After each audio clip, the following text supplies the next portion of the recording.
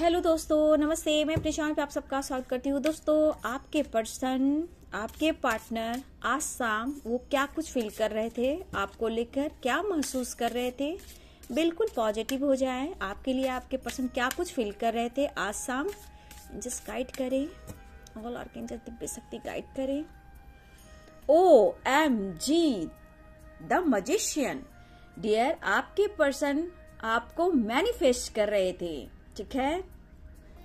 ये पर्सन काफ़ी आपको लेकर सोच रहे थे, दुआओं में मांग रहे थे, और सबसे बड़ी बात, ये पर्सन आपसे अगर बात कर रहे हैं, या फिर नो कांटेक्ट भी हो सकता है, लेकिन ये पर्सन दिल ही दिल में आपको मैनिफेस्ट कर रहे थे, और आपके बारे में काफ़ी कुछ सोच रहे थे कि आप बहुत खूबसूरत हो, आपने जिस तरह इन्हें सपोर्ट किया है, एक जादूगर की तरह इनके लाइफ से सारे कष्ट को, सारे दर्द को हिल किया है। जितने आपने इनको हेल्प की है, जिस तरह से मेंटली फिजिकली फाइनेंशियली ये पर्सन आपको एक जादूगर की तरह देखते हैं या ये पर्सन आपको द मजिशियन की एनर्जी में देखते हैं क्या आप उनके दर्द को एकदम से हील कर देते हो?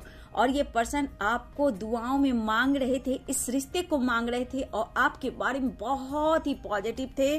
द मजिशियन की एनर्जी तो आपके पार्टनर की जो एनर्जी थी, आज तक बहुत ही खूबसूरत थी।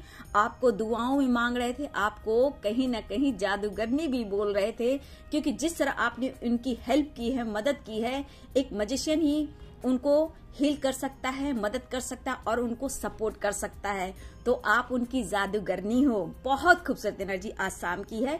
वीडियो अच्छी लगे तो लाइक शेयर कमेंट करें। Thank you so much God bless you